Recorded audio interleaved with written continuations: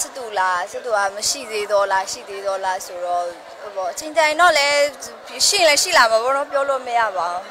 လူပဲလေအတဲနှလုံးလေးနဲ့ဆိုတော့အဲ့လဲဘလို့ တကယ်ကြိုက်တဲ့ပုံစံဆိုတော့လေညီမကဒီယောက်ျားဆန်တဲ့ယောက်ျားအဲတယောက်ရဲ့စိတ်တဲ့အပြည့်အဝရှိရမယ်ပေါ့နော်အဲ့လိုမျိုးယောက်ျားတယောက်ရဲ့စိတ်တဲ့အပြည့်အဝရှိပြီးတော့အဲ့လိုမျိုးဟိုဘယ်ဟာမဆိုမမမမရက်တည်နိုင်ရမယ်ဘယ်ချိန်မှမဆိုကိုယ့်ရဲ့ချစ်သူကိုကာကွယ်ပေးနိုင်ရမယ်နောက်တယောက်နဲ့တယောက် respect ရှိရမယ်နောက်ဟိုကိုယ့်ပေါ်မှာအရင်တိခံပြီးနွန်တန်ခံနိုင်ရမယ်ပေါ့တိခံနေဆိုတော့ပေါ့နော်ဟိုလိုမျိုးပေါ့ဟိုဂယူဆိုင်ရမယ်တိခံပြီးနောက်တစ္ဆာရှိရမယ်အဲ့လိုမျိုးတော့ပို့ပြီးတော့သဘောကျတယ် အဲ့လိုပဲရိုက်တဲ့လူတိုင်းနဲ့တော့အရန်ဟိုအဲ့လိုအဲ့လိုတချို့ပြိတက်ကကြောက်လဲတွဲမြင်လို့လိုက်တယ်ဘာညာတဲ့လို့အားပေးတယ်ကြိုက်ကြိုက်ဟိုကြိုက်တယ်ဆိုပြီးတော့ဟိုဖြစ်ကြတဲ့ပြိတက်တွေရှိတို့ကြောက်လဲ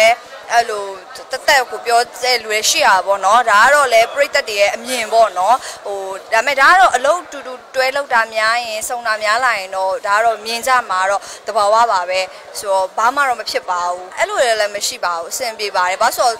သိနေရပဲလေတယောက်နဲ့တယောက်ကတော့ဒီလိုမျိုးဖြစ်ပြီးဆိုရင်တော့ဟိုဟိုတွဲမြင်ကြမယ်ပြောကြမယ်ဆိုတာတော့ဟိုပြောကြတာပဲဆိုတော့လေဘာမှတော့မဖြစ်ပါဘူးဟုတ်